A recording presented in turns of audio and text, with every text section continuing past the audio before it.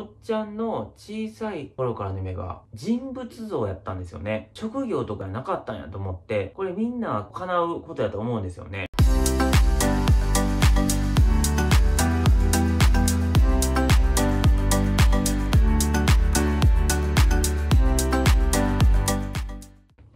はい、皆さんこんばんは。ペンキアカの証言です。幸せになるって難しくない。人生をもっと楽しくなる。たった一つのことを教えてというリクエストをいただきありがとうございます。最近、僕が、うわ、この人素敵やなと思った人がいまして、それは、その人がめちゃくちゃ幸せオーラが漂ってた人なんですけど、1ヶ月ぐらい前に大阪で仕事があって、震災橋のあの飲み屋さんに飲みに行ったらね、一人の75歳ぐらいのおっちゃんがカウンターに座ってあって飲んでたんですです僕もちょっと横に行って飲もうかいうことで、一席あげて横に座って飲んでたら、おっちゃんがね、話しかけてきたんですよ。おっちゃん今、めっちゃ幸せやねんって言うよね。なんなんおっちゃんなんかあった？んって聞いたら、夢が叶ったんやってって言うんですよ。どんな夢って聞いたら、おっちゃんのな、小さい頃からの夢は、大阪のおっちゃんになることやったんやって言うんですよね。えどういうこと？って聞いたらね、おっちゃんに任せときとか、おっちゃんが何とかしたるでっていう言葉を小さい時から聞きながら生きてきたんですって。要は大阪の大人のそう言ってくれた言葉っていうのは、おっちゃんが子供の時に、すごいなんか安心感と大丈夫やっていう気持ちになれたんだよっていうことを、そのおっちゃんから聞いたんですね。今おっちゃんはなって75歳の大阪のおっちゃんになったんや、言うて、小さい近所の子らもな、おっちゃん、俺大丈夫かなとかってって言ったら、おっちゃんが絶対大丈夫やから、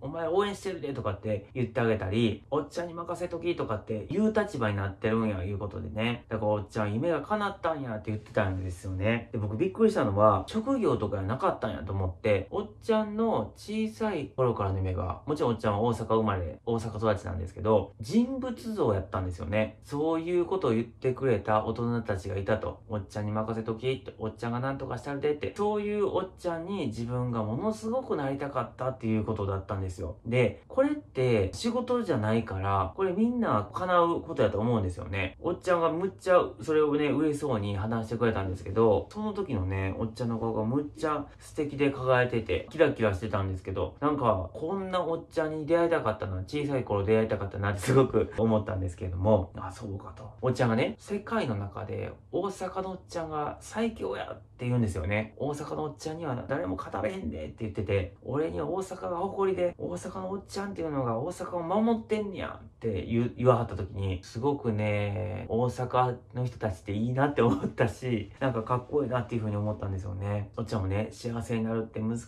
くないでって言うんですよね。ええー、車乗りたいとか、これだけ稼ぎたいいう夢は、おっちゃんはあの叶わへんかったけど、こういう大人に自分がなったら、自分をが幸せになれるのかなっていうのは、すぐ分かったからって、そういう大人になるために、普段の発言とか、大丈夫やでとか、任しときっていう言葉も自分からちゃんと言うように心がけてたし、実際見てってそういうおっちゃんになったっていうのを自信満々にね、僕に言ってくれました。皆さんもね、もっと人生をね、楽しくなるように、いろんなことに心がけたり、いろんなことをされてると思うんですけれども、こういう人物になれたら面白いやろうなとか、こういう人物になれたら幸せやろうなっていう、そういうね、ことを自分で考えてみる。そういうキャラクターを演じてみるっていうのもそういう道に近づけるんじゃないかなっていうふうに思ってます。そのねおっちゃんむちゃくちゃ面白くて最後なんかオチをつけなあかんから言うことでねさっきまでなあの関西のおっちゃんが最高やでどの世界の誰にも負けへんでおっちゃんに任せとき言うてたけどなここのお会計はお前に任せたわって言ってあって冗談ですけどね爆笑をあのかっさらっていきました。皆さんはどんな人間になりたいですか？